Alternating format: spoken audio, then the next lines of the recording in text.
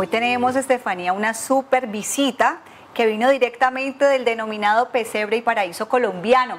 Se trata de Versalles, que es un encantador municipio del norte del departamento del Valle del Cauca. Gigi se encuentra a tan solo tres horas de Cali y es un destino ideal, por ejemplo, para este fin de semana de puente festivo. ¿Usted qué va a hacer este fin de semana? Me voy a ir para allá. Me, me encanta, me encanta. Sin embargo, pues se aproxima, se aproxima también una fecha especial que definitivamente nadie se puede perder, pero para conocer todos los detalles del municipio nos acompaña Alba Marina Gómez, la alcaldesa de Versalles. Buenos días, alcaldesa. Bienvenida a Telepacífico Noticias. Muy buenos días. Un saludo para todos los televidentes y a Telepacífico. Muchas gracias por este importante espacio. Alcaldesa, ¿cómo me le fue viniendo desde Versalles?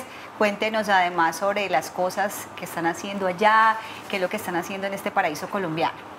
No me fue bien, pues llegué anoche y Versalles es un municipio pues hermoso que tiene unos paisajes hermosos, un clima maravilloso y estamos preparándonos pues para las fiestas de la neblina próximas a celebrarse del 28 de junio al 1 de julio.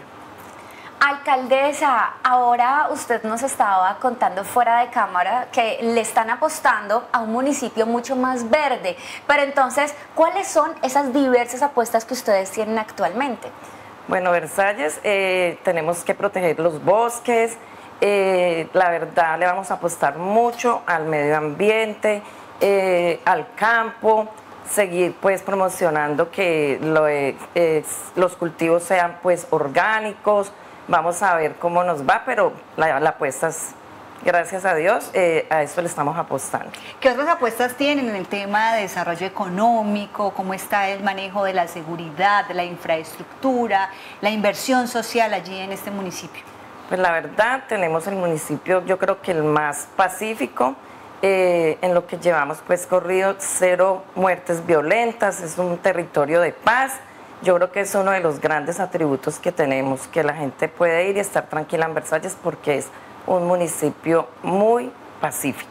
¿Cuántos habitantes aproximadamente? 7.460 más o menos. Además, Gigi, que tiene un clima perfecto para salirnos de lo cotidiano de nuestra ciudad, que somos muy calentanos, allá nos podemos también dispersar y aprovechar el clima. Alcaldesa, usted nos mencionaba hace unos segundos acerca de las fiestas de la neblina. Recuérdenos, por favor, cuándo empiezan en esta oportunidad y, bueno, cuál es la programación. Bueno, eh, las fiestas eh, comienzan el 28 de junio eh, y terminan el 1 de julio. El 28 de junio tenemos pues gran paseo a caballo o desfile a caballo que están cordialmente invitados. Eh, vamos a tener artistas muy buenos como Luisito Muñoz, tenemos también a Fernando Urbano, tenemos los inquietos del vallenato, a los que nos gusta la salsita está Pedro Conga, también están los Patuma, que son unos reconocidos artistas de Versalles de talla internacional, lo mismo que el dueto Buritica. En fin, las fiestas van a estar maravillosas. Va a estar también el Chico Jaramillo el lunes. ¿Son cuántos días? ¿Cuatro? Son cuatro, el viernes al lunes. Bueno, ¿y qué personas llegan? O sea, ¿cuáles son los municipios de ustedes que son más participativos o que se unen a las fiestas de la neblina que además son supremamente reconocidas en el país, no solo en esta región? No, yo creo que llega gente de todo Colombia y también pues la gente que, que de Versalles se ha tenido que ir al exterior, ellos programan sus vacaciones y llegan a disfrutar de las fiestas de la neblina, ¿no? La verdad es que estas fiestas han sido muy reconocidas y yo creo que ahorita van a estar mucho mejores, así que están cordialmente invitados. Además del paseo a caballo, de todos los artistas reconocidos también de talla nacional e internacional que ustedes van a tener en esta fiesta, ¿qué otras actividades se van a poder encontrar propios y visitantes? No, pues lo más importante para mí es el campesino que nosotros celebramos eh, el día 30 de junio, la, la fiesta del campesino. Hay reinado, o sea que sacan candidatas de todas las veredas y la verdad para mí ellos son lo más importante ese día. ¿Y esa es una actividad que empieza en qué horario?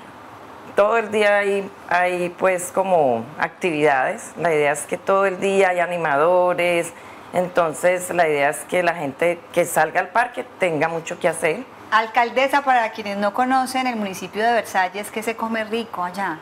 La gastronomía.